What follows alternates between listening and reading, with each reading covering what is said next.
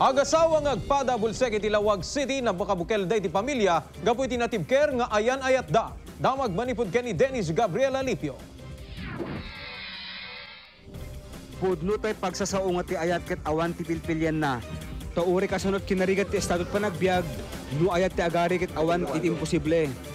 Kas tinabukel nga ayan ayat da Rachel ken ni Eloy iti siyudad ti Lawag.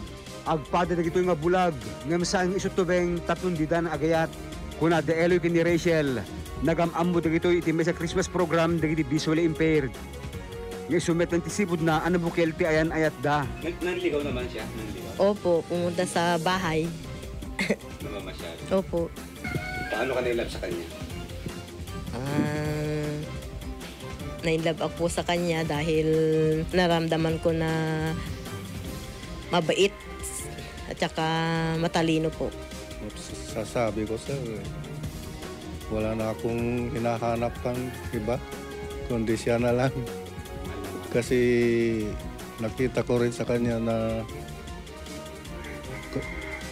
na mahal na mahal niya ako at isa pa yung pananalig niya sa Panginoon. Italas uti siya mga tawen nga panagdenada na adaan dagito iti may nga bunga. Arig ni normal ti panagbiagda. Agsipod ta agpadang agsapsapol, babaen iti panagmasahe. Kaskin ni Rachel, kaya na iti agmasahe. Agdait. Aglaba. Aginaw. Kin agdalos iti uneg iti pagtaingan. Ang mensahe ko po sa mga ganitong katulad ko po, eh, huwag mawala ng pag-asa. Dahil ang Panginoon, mahal niya tayong lahat. para kadakwada.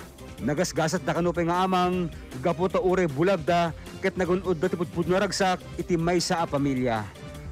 Dennis Gabriel Alipio nakatutok 24 oras Ilocano.